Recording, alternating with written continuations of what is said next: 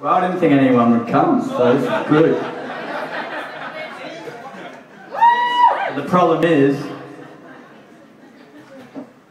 we didn't practice that much. Lucy Albani, you're welcome.